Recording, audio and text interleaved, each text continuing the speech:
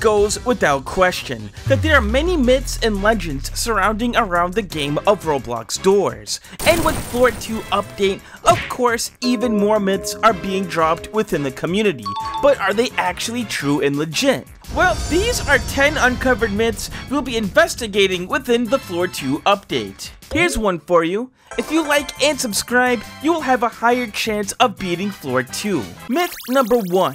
There's been a lot of confusion going on within the Roblox Doors community regarding about the differences between Queen Grumbles and the regular Patrol Grumbles. The myth is that the community believes that Queen Grumbles are the ones that contain 8 tentacles compared to regular Grumbles that only contain 5 tentacles. We even thought this as well right when the update dropped. But if you take a look within the Doors classified model files, within the Room 150 models, we have both the Queen Grumble model and the regular Patrol model side by side, and both entities actually do have the same amount of tentacles at 8, officially busting this myth. Myth number 2, as we know, if you end up using a lighter within the fire damp rooms, the players will end up exploding and losing the game as well Fire Damp. is obviously ignitable by any kind of spark, including fire, but some within the community still think that it's actually still unsafe to use flashlights and electronics,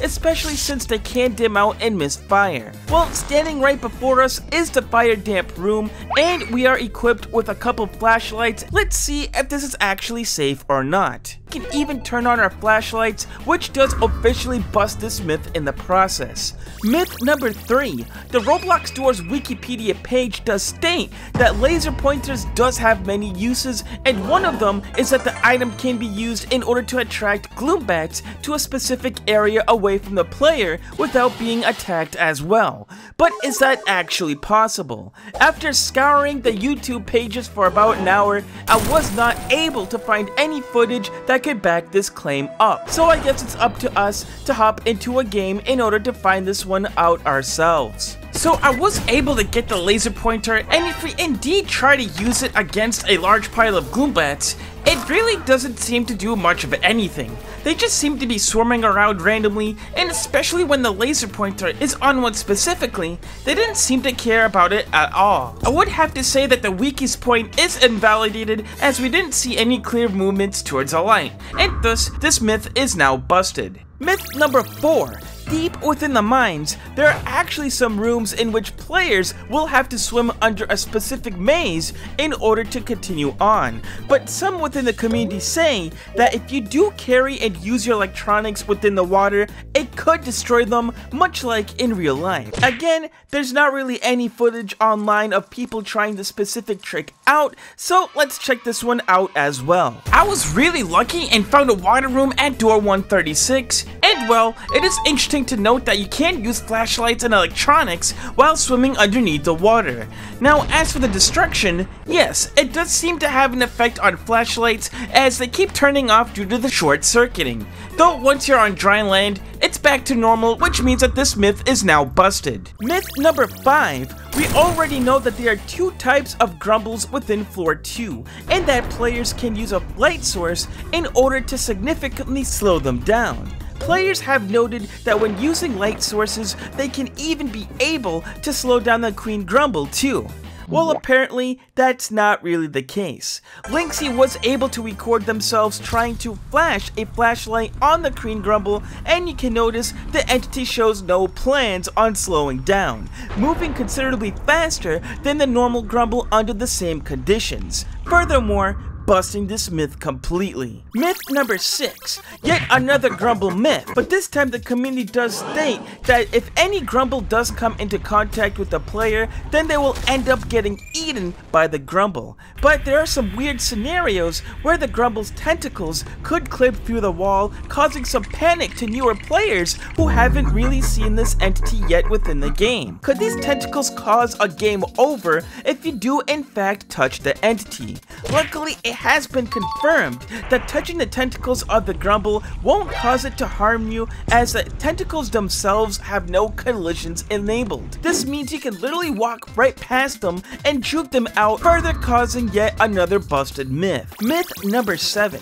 We've already known that light sources can actually attract grumbles and can even slow the regular ones down in most cases. But players have been saying that every light source, more specifically the laser pointer, could also be used in order to temporarily blind the entity as well. It does make sense. The laser pointer can be used to blind Giggles, but is it strong enough to blind an entity 10 times bigger its size? Well, unfortunately, we've tried using the laser pointer not only as a light source, but also as a weapon against the Grumble entities in a previous run, and we did conclude that they don't really have any effect onto this entity, also officially busting this myth. Myth number 8. Giggles are very sensitive to visible light.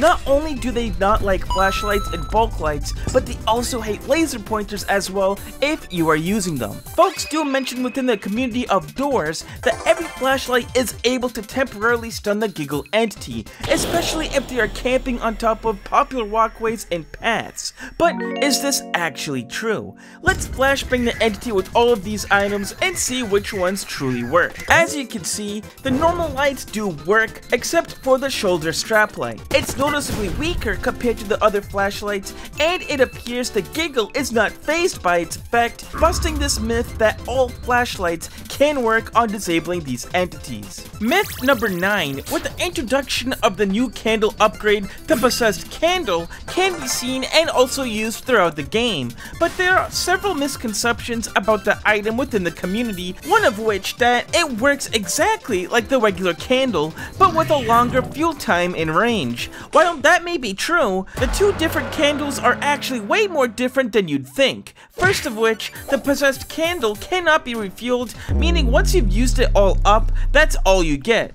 Next, the possessed candle actually doesn't even trigger the fire damp gas as it seems to be burning off an alternative source of fuel.